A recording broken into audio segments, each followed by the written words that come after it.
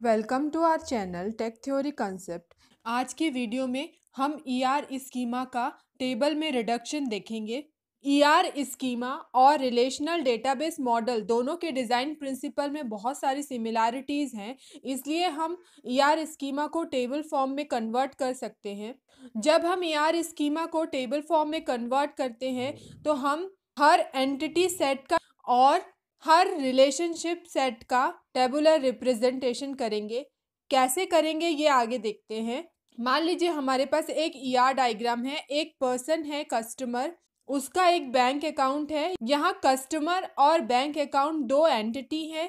Customer के कुछ attribute हैं customer ID customer name bank account में एट्रीब्यूट है अकाउंट नंबर बैलेंस और इनके बीच में एक रिलेशनशिप है डिपॉजिटर का।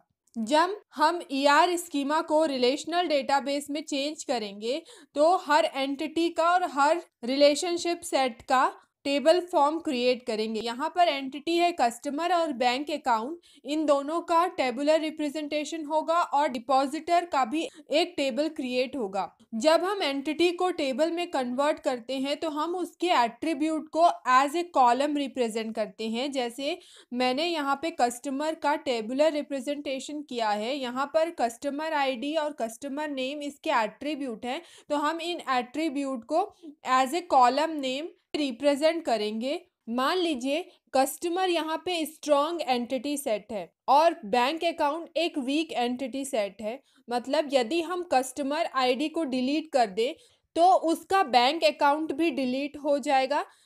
तो यहाँ पर कस्टमर के ऊपर बैंक अकाउंट डिपेंड कर रहा है, इसलिए बैंक अकाउंट यहाँ पर वीक एंटिटी सेट है। जब हम वीक एंटिटी सेट का टेबल फॉर्म क्रिएट करते हैं तो हम स्ट्रॉन्ग एंटिटी सेट का प्राइमरी की अपने वीक एंटिटी सेट पे इंक्लूड करते हैं। तो जब हम बैंक अकाउंट का टेबल फॉर्म क्रिएट करेंगे तो यहाँ पर कस्टमर इसका स्ट्रॉन्ग एंटिटी सेट है। तो कस्टमर का प्राइमरी की हम वीक एंटिटी सेट के टेबल में लिखेंगे। जैसे यहाँ पर हमने बैंक अकाउंट का टेबल फॉर्म क्रिएट किया, इसके एट्रीब्यूट है अकाउंट नंबर और बैलेंस नंबर वो हमने यहाँ पर लिखा हुआ है।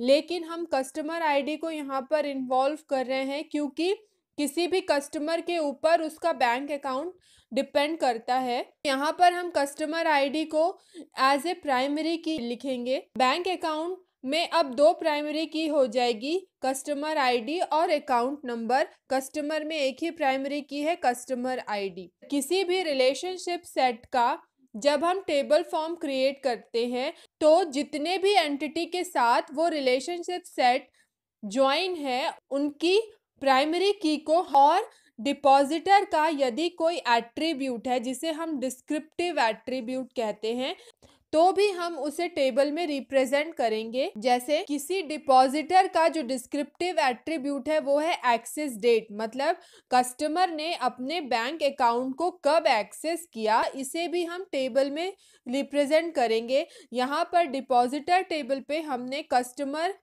की प्राइमरी की कस्टमर आईडी को और बैंक अकाउंट की प्राइमरी की अकाउंट नंबर को इन्वॉल्व किया है। यहाँ पर डिपॉजिटर टेबल केवल दो ही एंटिटी सेट के साथ लिंक है कस्टमर और बैंक अकाउंट इसलिए हमने दोनों एंटिटी सेट के प्राइमरी की को इन्वॉल्व किया है। यदि डिपॉजिटर टेबल किसी थर्ड एंटिटी सेट का भी रिलेशनशिप सेट होता तो हम यहाँ पर उस एंटिटी सेट को भी रिप्रेजेंट करते। यदि किसी एंटिटी सेट में हमने कंपोजिट एट्रीब्यूट इन्वॉल्व किया है, जैसे कि एड्रेस एड्रेस एक एट्रीब्यूट को हम कंपोजिट एट्रीब्यूट तब कहते हैं जब उसके मल्टीपल कंपोनेंट होते हैं। जैसे एड्रेस के लिए स्ट्रीट और सिटी उसके मल्टीपल कंपोनेंट होंगे जिनका इंडिपेंडेंट एग्जिस्टेंस होगा।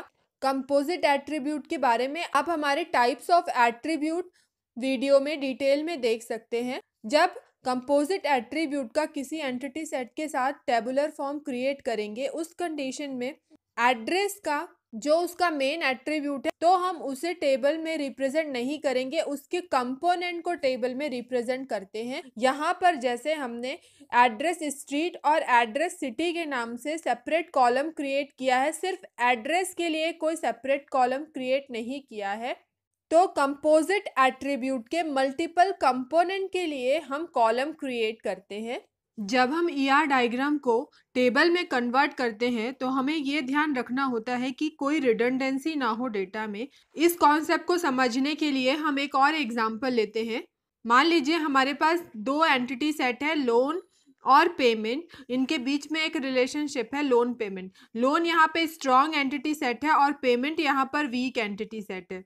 हम जानते हैं स्ट्रॉन्ग एंटिटी सेट और वीक एंटिटी सेट क्या होते हैं। वीक एंटिटी सेट ऐसे एंटिटी सेट होते हैं जो अपने एग्जिस्टेंस के लिए किसी दूसरे एंटिटी सेट पर डिपेंड होते हैं और स्ट्रॉन्ग एंटिटी सेट जिनके ऊपर वीक एंटिटी सेट डिपेंड होते हैं। हमने ये भी देखा कि स्ट्रॉन्ग एंटिटी सेट और वीक एंटिटी सेट के लिए टेबल कैसे क्रिएट करेंगे और रिलेशनशिप सेट के लिए टेबल कैसे क्रिएट करेंगे। लोन के लिए यदि हम टेबल क्रिएट करेंगे तो इसके एट्रीब्यूट को हम एज ए कॉलम यहाँ रिप्रेजेंट करेंगे। यहाँ पर लोन नंबर और अमाउंट हमने लिखा है।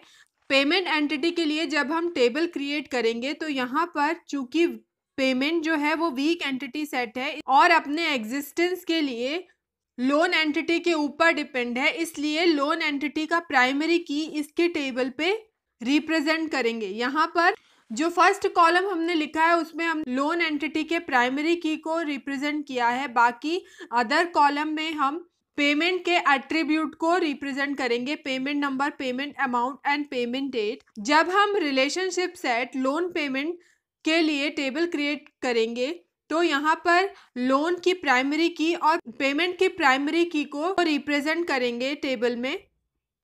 पेमेंट की प्राइमरी की है यहाँ पर पेमेंट नंबर लोन की प्राइमरी की है यहाँ पर लोन नंबर तो यहाँ पर हम इस तरीके से लोन पेमेंट रिलेशनशिप सेट के लिए टेबल फॉर्म करेंगे.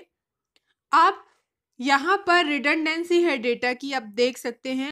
पेमेंट टेबल में भी लोन नंबर और पेमेंट नंबर है और लोन पेमेंट रिलेशनशिप सेट में भी पेमेंट नंबर और लोन नंबर लिखा हुआ है। यहाँ पर लोन पेमेंट के लिए कोई भी डिस्क्रिप्टिव एट्रीब्यूट नहीं है। जब ऐसी कंडीशन आती है, तब हम रिलेशनशिप सेट के लिए कोई भी टेबल फॉर्म नहीं करते हम यहाँ पर इस कंडीशन में केवल लोन एंटिटी और पेमेंट एंटिटी के लिए ही टेबल फॉर्म करेंगे क्योंकि सारी इंफॉर्मेशन हमें हमारे एंटिटी सेट के टेबल से ही मिल जाएगी If you have any doubt, please leave a message in comment box. Also, don't forget to like, share and subscribe our channel Tech Theory Concept as it motivates us to create a new and knowledgeable video for you.